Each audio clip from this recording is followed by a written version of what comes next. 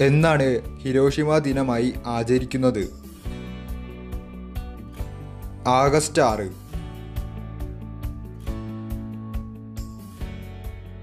America ജപ്പാനിൽ അണുബോംബ് വർഷിച്ചത് എന്ന്.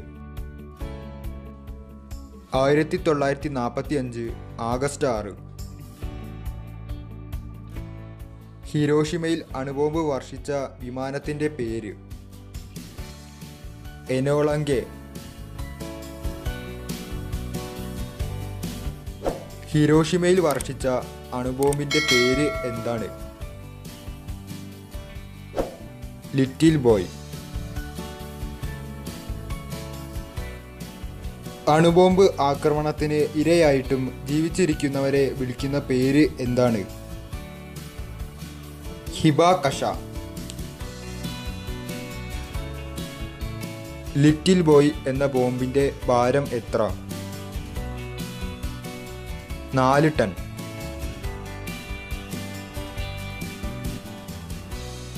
Little boy എന്ന ബോംബിൽ ഉപയോഗിച്ചിരിക്കുന്ന മൂലകം ഏത്? യുറാനിയം.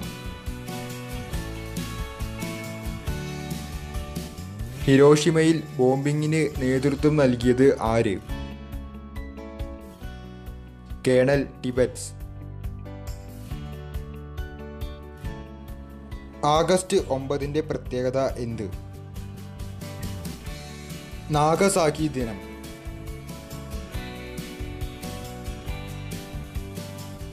നാഗസാക്കിയിൽ വർഷിച്ച അണുബോംബിന്റെ പേര് എന്താണ്? ഫാറ്റ്മാൻ. ഫാറ്റ്മാൻ എന്ന ബോംബിന്റെ ഭാരം എത്ര? നാല് പോയിന്റ് ആറ് മൂന്ന് ടൺ. ഫാറ്റ്മാൻ ബോംബിൽ ഉപയോഗിച്ചിരിക്കുന്ന മൂലകം ഏത്? പ്ലൂട്ടോണിയം.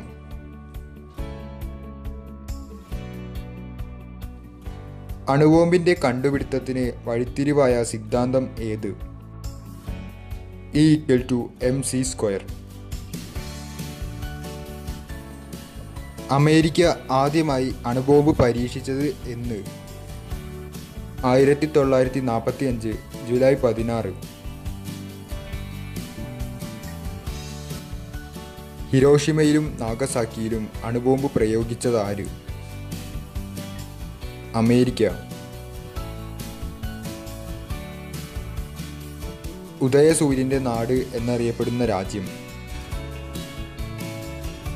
ജപ്പാൻ. ആദ്യമായി അണുബോംബ് പ്രയോഗിക്കപ്പെട്ട യുദ്ധം ഏത്? രണ്ടാം ലോകമഹായുദ്ധം. നിങ്ങൾക്ക് ഈ വീഡിയോ ഇഷ്ടപ്പെട്ടുവെങ്കിൽ നിങ്ങൾ തീർച്ചയായിട്ടും ലൈക്ക് ചെയ്യുക അതുപോലെ തന്നെ സബ്സ്ക്രൈബ് ചെയ്യുക.